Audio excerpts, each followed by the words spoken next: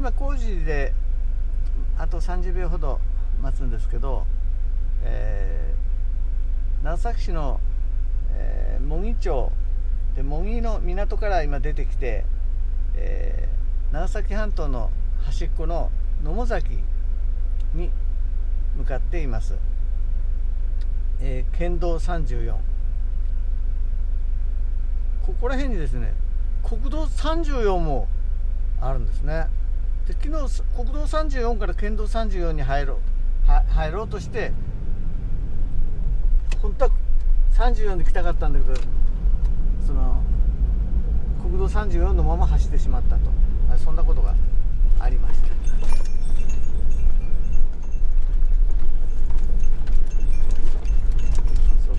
完璧にあのどこでもセンターラインはない。そういうことなんですねこの、えー、県道34というのは。でも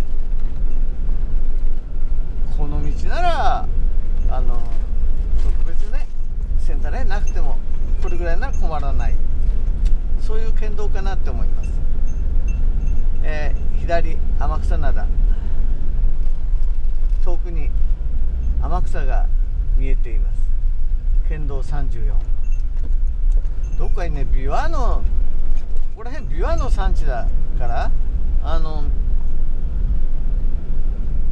袋が袋掛けしてるその姿を見たいなって。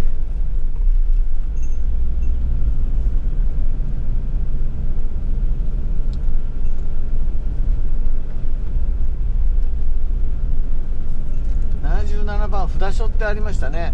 この周辺にそういう札所があるんですね。あの四国を真似た。今77だった。こっち来たらあこれは100円ショップだ。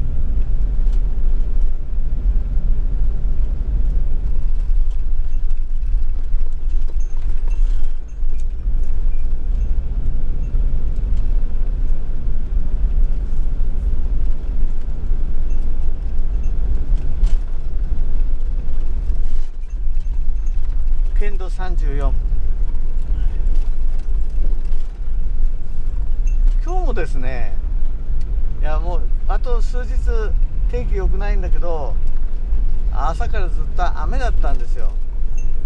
そしてあの何ですかいつになったら止むのかなってね調べたらねおおってべようと思った時にはもう晴れてきたんだけど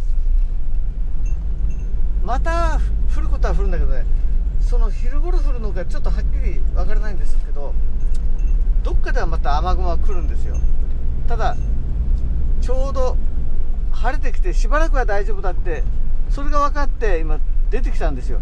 本当はやらんならんことがねあったんだけどねあのブログの記事なんだけどあの作業途中でやめてけっつってね来たわけですよ。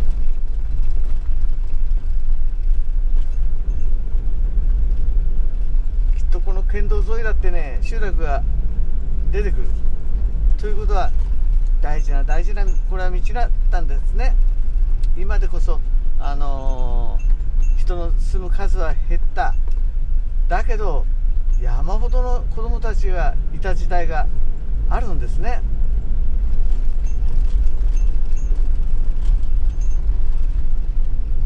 だからこっち方面だったら茂木の市街地に店がいっぱいあるからそこへね用足しに来たバスで来たバスのない時代は歩きだってね。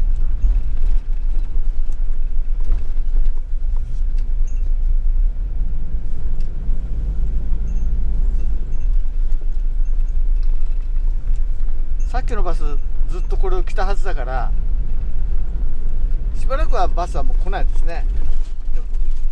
みたいな道で細い道でバスが突然来たら大変だ。ここなんかはいいですよ。見えたらすぐこう避ければいいから。バスとすれ違うにはこの辺はちょっと厳しいけどその先だったら大丈夫ですね。